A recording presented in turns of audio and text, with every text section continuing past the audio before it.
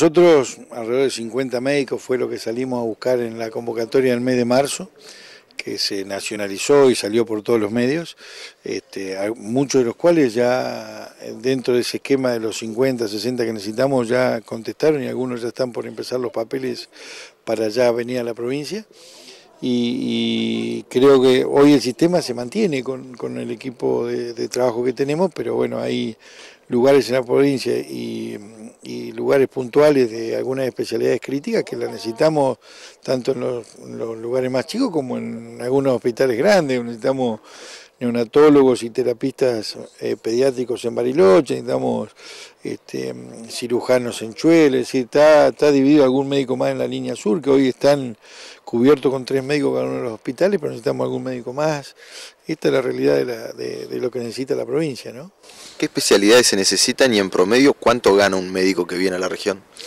Nosotros los sueldos que están previstos hoy, que lo que ganan hoy es un profesional este, sin especialidad, 40 mil pesos de sueldo, y con especialidad, 45 mil.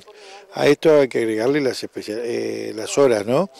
Las horas extras que muchos de los, eh, las guardias, digamos, porque es, la hora es para la ley 1800, este, las guardias que haciendo 5 o 6 guardias por mes se, duplica el ingreso del profesional.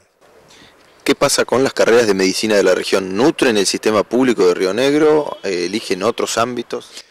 No, no alcanza a nutrir todo el sistema, porque no es solo para Río Negro, Río Negro y Neuquén, pero hay una realidad, nosotros dentro del Consejo Federal de Salud se habla siempre el tema de los profesionales y de las especialidades que eligen. Este, hoy los jóvenes eh, tratan de no hacer guardias, de no ir a los centros de salud, esta es la realidad. Y no pasa solo por un tema de ingresos. Y con el ministro de Salud de la Nación y el resto de los ministros hemos tenido, mantenido charlas con las universidades para empezar a trabajar sobre la carrera y sobre la, eh, para qué lado eligen ellos, qué especialidad eligen, para cuál lado este, prefieren la residencia, que es todo un tema que está repercutiendo en todo el sistema de salud y si no se corrige va a ser muy grave.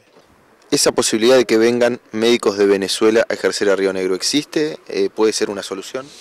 Eh, a partir de la visita de la Dirección Nacional de Migraciones, de Horacio García, hace 20 días a la provincia a firmar convenios con el gobernador, este, surgió esta posibilidad. Hoy los problemas que tienen, pues ellos ya están asociados en un grupo, ya habían escrito a todas las páginas del ministerio, el problema que hoy tienen es la validación de sus títulos y hasta que no haya alguna legislación que, pueda achicar los tiempos, hoy tarda entre un año, uno y dos años validar sus títulos, así que hoy es muy complejo. Esperemos que se avance en algún tema como para que alguna legislación, algo, resolución de educación, de nación, alguna situación que permita este, no solo a Río Negro, porque muchas provincias están necesitando médicos y distintas especialidades, y ellos son 1.700 los que hay hoy en, en el país ya de parte de la gran inmigración de Venezuela, que se pueda resolver, pero hoy no, no, no es una situación fácil de resolver ni depende solamente de la provincia.